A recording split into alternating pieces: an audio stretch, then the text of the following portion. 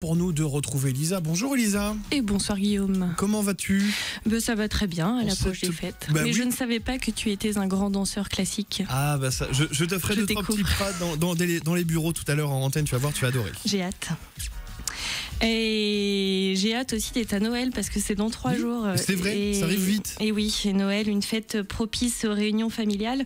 Cependant, il ne faut pas oublier les personnes isolées. Le sentiment de solitude qui pèse toute l'année atteint euh, son paroxysme dans les époques de fête. Depuis plus de 60 ans, les petits frères des pauvres sont une figure incontournable de la lutte contre l'isolement des personnes âgées. Isabelle Bréchet, chef de service au niveau régional de l'association, est notre invitée pour parler des actions euh, menées pendant les fêtes. Isabelle Bréchet, bonsoir. Bonsoir. L'association existe depuis plus de 60 ans, je le disais. Elle est bien connue du grand public. Vous pouvez nous rappeler comment elle est née? Tout à fait. C'est en 1946 et au sortir de la guerre, Carmen Marquisé a lancé et, et eu cet appel pour euh, mener une action auprès des personnes âgées isolées. C'était vraiment une action qu'il souhaitait mener euh, pour lutter contre la solitude et la précarité euh, des personnes qui se trouvaient complètement démunies euh, euh, juste après-guerre. Le dénouement qu'il a, a découvert à l'époque dans, certaines situations, on a des photos de- d'appartements de, taudis sous les toits, de personnes complètement terrées, dans des conditions de vie absolument épouvantables, a été un tel choc qu'il a, qu'il a mené cette action avec beaucoup beaucoup de conviction et, et a su réunir euh, beaucoup de moyens en, ralliant à sa cause euh, donateurs et bénévoles. Mais le plus beau de l'histoire, c'est que même si les besoins matériels étaient énormes, il a d'abord voulu rappeler que l'essentiel, c'était la relation. Il y a d'ailleurs une devise. Il y a une devise tout à fait qui dit des fleurs avant le pain et qui résume cette attention portée d'abord à la relation humaine. Bien qu'à l'origine, euh, l'association ait eu des, ra- des racines d'origine chrétienne, hein, aujourd'hui, elle est apolitique et aconfessionnelle. Tout à fait. Les valeurs sur lesquelles elle se base, elles sont vraiment des valeurs euh, universelles. C'est la valeur unique de chaque personne, irremplaçable. C'est la dignité de tout homme et de toute femme, quelle que soit leur origine, leur situation, leur état physique, psychique ou social. C'est aussi la liberté fondamentale de chacun, la fraternité, un très beau mot en Vous ce moment insistez beaucoup sur ce on en a de fraternité. tous besoin, et la fidélité aussi dans l'accompagnement. Alors, votre action principale, euh, vous le disiez, est l'accompagnement dans une relation fraternelle des personnes euh, âgées isolées. Euh, comment avez-vous connaissance de ces personnes? Est-ce qu'elles viennent à vous? Ou est-ce que euh, ce sont euh, les familles qui vous contactent? Alors, on a tous les cas de figure. Les signalements, c'est vrai que l'association est maintenant bien connue hein, du grand public pour euh, l'action qu'elle mène auprès de personnes âgées isolées. Parfois, il peut y avoir une petite inadéquation.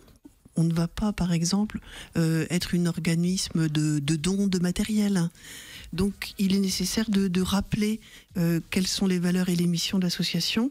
Mais on a, si je regarde les, chiffres de l'année dernière, euh, 33% des signalements nous sont faits par les acteurs médico-sociaux, les clics, euh, les services de, de soins ou de services à domicile, 21% par les acteurs sanitaires, 7% par l'entourage de la personne, 12% par la personne elle-même. Les gens peuvent nous appeler. 10% par le réseau euh, des bénévoles petits frères et puis euh, le reste des, des, des- des partenaires type euh, juge ou organisme de tutelle. Et les personnes âgées sont toujours euh, euh, en adéquation avec ce que vous proposez ou est-ce qu'il y en a des fois qui peuvent être réfractaires à vos services et qui Alors- préfèrent rester dans la solitude? Alors, elle, euh, ré- réfractaire, euh, elle pourrait en fait s'être trompée sur ce qu'on pouvait proposer. Euh, par exemple, on va bien expliquer que le bénévole n'est pas là pour faire euh, le ménage ou les courses.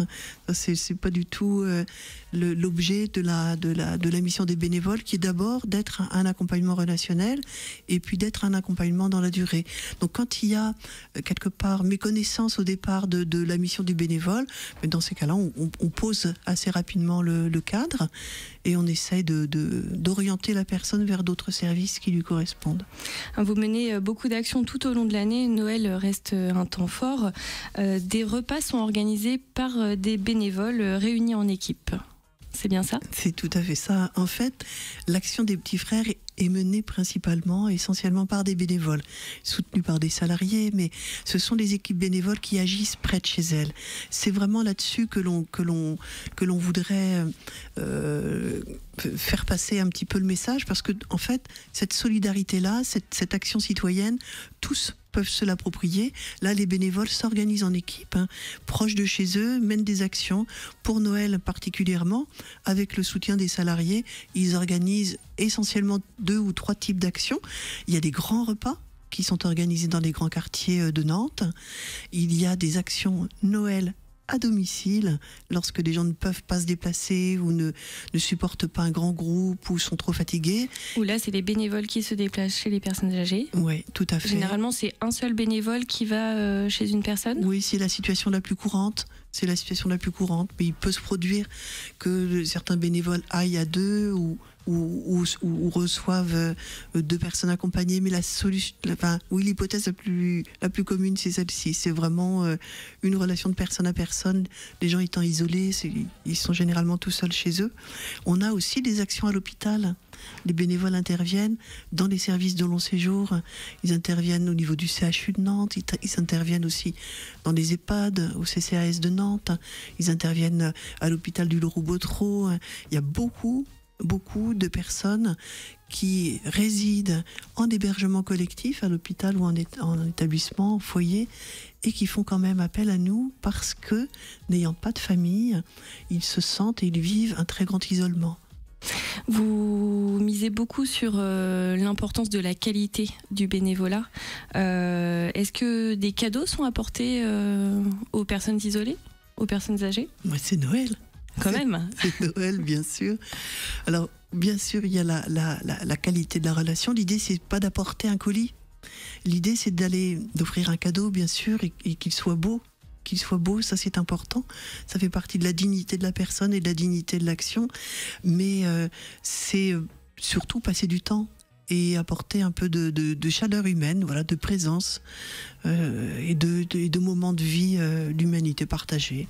Vous me disiez avec une coupe de champagne. Euh, ça peut être une coupe de champagne, ça peut être une coupe de champagne sans alcool, ça peut être un jus de fruits, ça peut être un petit gâteau, une belle fleur. Alors, vous me disiez que les actions reposent principalement sur les bénévoles. Est-ce que là, vous recherchez d'autres bénévoles pour, euh, pendant les fêtes? Alors, pour les fêtes, on a actuellement sur Nantes euh, déjà quelques bénévoles qui se sont positionnés et qui sont en attente d'action. Donc euh, n'hésitez pas à faire savoir votre, votre offre si vous le souhaitez euh, en, nous, en nous prévenant ou en, téléphonant au numéro Indigo euh, des petits frères. Vous le direz peut-être à la fin de Je vous laisse, je vous laisse le dire. Donc c'est le 08 25 83 38 22. 08 25 83 38 22. C'est un numéro national et ensuite vous serez, quel que, quel que soit l'endroit où vous habitez, vous serez relayé vers, le, vers les équipes les plus proches. Est-ce qu'il y a une formation proposée pour les bénévoles? Parce que c'est peut-être pas évident de se retrouver euh, face à des personnes euh, âgées en situation d'isolement. Bien sûr, l'association s'engage à proposer aux bénévoles des formations qui leur soient adaptées et le bénévole s'engage aussi, lui, à suivre des formations pour ne pas se trouver lui-même en difficulté ou mettre la personne isolée, en situation de précarité, qui peut être démunie ou fragile, mettre personne en danger. Tous les âges sont les bienvenus tout à fait. Pour faire du bénévolat. Absolument. Je, peux euh, saluer les étudiants qui sont bénévoles chez nous. Je peux aussi saluer une petite dédicace. On a le droit à la radio, je crois. Allez-y, l'antenne est à vous. Marcel, qui est bénévole et qui est quotidiennement avec nous. Elle a 93 ans. C'est beau.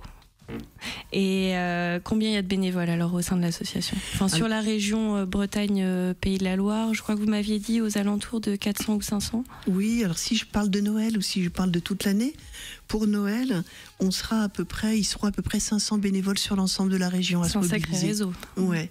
Sur Nantes, ils seront près de 300 à être actifs sur le 24 et sur le 25. On tient à ce que Noël, ça soit vraiment le 24 ou le 25, sinon c'est pas Noël. Hein. Bien sûr. Donc on fait vraiment attention à ça. Et il y aura près de 900 personnes accompagnées, isolées, qui seront accueillies dans toute la région, dont 600 à peu près sur, euh, sur Nantes. En ce qui concerne les personnes âgées euh, isolées, est-ce que vous sentez une évolution du nombre de ces personnes? Ou ça stagne Non, ça stagne pas. Du côté des personnes et des signalements, on a de plus en plus. Hein. C'est une augmentation qui est constante et qui continue. On ne s'attend pas du tout à ce qu'il y ait une baisse parce que les conditions de vie euh, et les conditions euh, de vie lorsqu'on est âgé sont de plus en plus difficiles. Donc non, non, non, ça ne, ça ne, ça, ça ne s'arrête pas de grimper. Vous sentez euh, quand même une sensibilisation forte de la part euh, du public? Alors ça, c'est la bonne nouvelle de l'année, parce qu'il y en a, hein, c'est que je pense, oui, et on l'entend beaucoup aussi dans les, dans les régions, dans les contacts avec les partenaires, qu'il y a une prise de conscience, en tous les cas, une attention portée aux personnes et aux personnes isolées. Je ne sais pas si vous aviez vu passer le petit sondage qui avait été fait sur les rapports des Français à la vieillesse, mais il nous, il nous donnait de bons indicateurs, en tous les cas. Mmh. Nous dit que 74% des personnes interrogées se disaient prêts à consacrer du temps à aider une personne âgée, que 64% seraient prêts à y consacrer au moins une heure par semaine dans le cadre d'une activité bénévole, et que les 18 et 34 ans pour les bénévoles sont donc au cœur de l'engagement en faveur des aînés. Donc euh, c'est vraiment une image positive. Un pays de fraternité. Merci beaucoup Isabelle Bréchet d'avoir euh, accepté notre invitation. Je rappelle que vous pouvez retrouver euh, toutes les informations sur votre site Petit Fer petitfrèresdespauvres.fr. Et puis bien sûr, tout l'entretien est à retrouver très vite sur le site de Sun. Merci beaucoup Elisa, très belle fête à toi.